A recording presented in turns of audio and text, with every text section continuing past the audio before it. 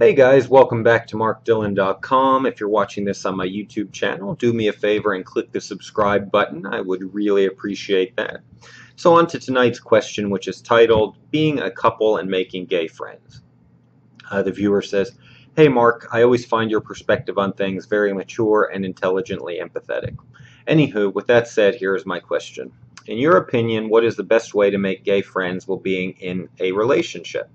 I'm in a great loving relationship with a guy for almost three years. We're both in our early 40s and loving it. Life has slowed down a lot since being in our uh, mid 20s and uh, 30s. We mostly like to stay at home, work a lot, cook, travel, hike, and every blue moon have small dinner parties with a small uh, group of longtime friends, some gay and some not. Um, I'm not complaining about our current group of friends, but they're just not that refreshing or proactive in doing things that we like to do on a regular basis. I feel that since my partner and I don't go out and experience the gay scene or social watering holes, we have no contact with other gay couples in meaningful relationships like ours. Uh, it always seems that any gay guys interested in us are, are, are mainly looking for sex and once that's turned down, they seem to have no interest in us as people or potential friends. Is this common among gay couples nowadays?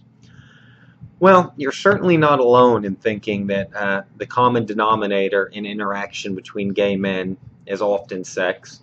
Um, I, have certainly noticed that, and uh, I think just about all of us have, that up until, up until a certain age, most of the time, uh, there seems to be this underlying sexual energy between your your friends in your gay social circle, between the flirting and the one-time hookups, and or you met as a hook, you met hooking up, and then you became friends, and you play around when neither one of you is in a relationship, that kind of thing, where it's kind of, where, where the friendship kind of blurs the line between a true friendship and and kind of a fuck buddy, and I certainly get, uh, you know, that, that there's a time and a place for that, but there's also a lot to be said for having really good, high quality friends that are not, that, that are just platonic.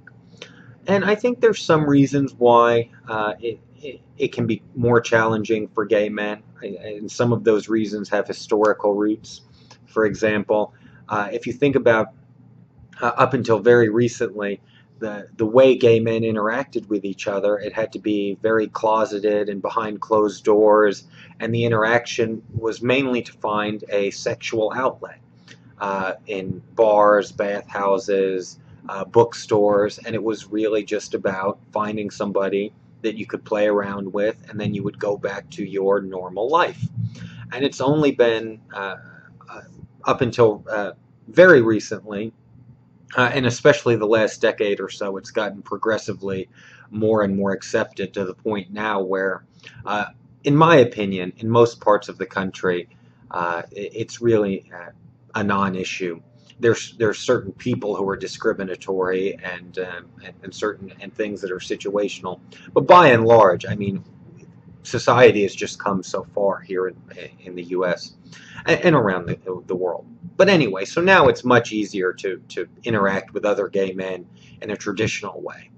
Um, but I think it is important to understand that kind of the historical roots for why there's so, the, the, the, gay community seems to be so sexually um, driven, so to speak. But anyway, I think that it is certainly possible to make good gay friends, whether you're a single gay man or, or, you're a couple.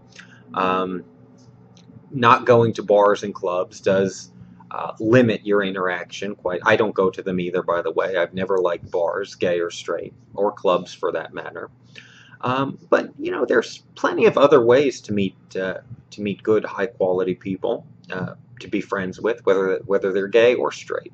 So if you're looking for gay friends uh, in particular, uh, I can't guarantee that they'll all be couples. That gets to be a little bit harder. But you know, think about uh, what what do you have in your community that tends to, or your city that tends to gay, cater to the gay community? Do you have any business and professional organizations that uh, that are for gay men that you could join? Uh, is there a local um, uh, like gay sports team, whether it be softball or volleyball or what have you, that you and your partner could join and network that way?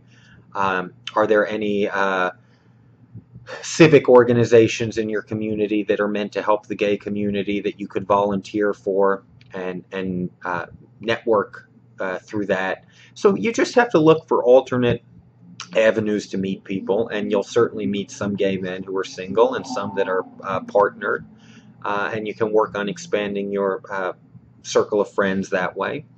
Uh, but most importantly, I think that you should be friendly with someone because they, uh, they, they add a lot to your life. You think they're a high quality person.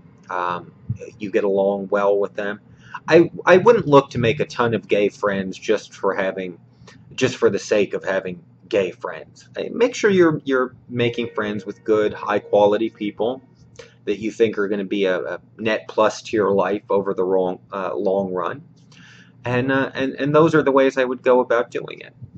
And uh, I don't think that it would be a bad idea either for um, you and your partner to go out to a, a nice higher end gay bar in your area every so often because you may run into a couple who's there looking to have a little bit of fun and get out of the house and meet some new people too. Um, assuming uh, if you if you like the uh, like bars. I don't so i wouldn't do that. But um, but if you and your partner enjoy them and you like having a drink occasionally go out to one of the nicer ones and you may meet another uh, uh you know nice professional gay couple that you can uh, be friendly with that doesn't have sex on the brain.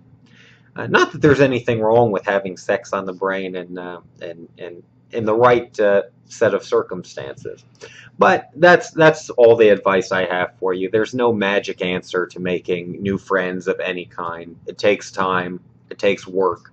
Um, so just be proactive about finding venues in your uh, local community that you think uh, may be attractive to uh, having gay men. Uh, oh, another thing.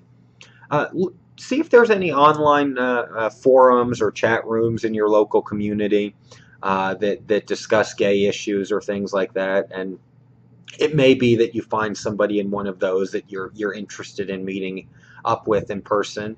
Um, and, and you know, so those are those are all the tips I have for you. I'm sorry I don't have a, a better answer, but that's my opinion. That's my story, and I'm sticking to it. So, guys, thanks for tuning in to marcdylan.com. Don't forget to subscribe to my YouTube channel.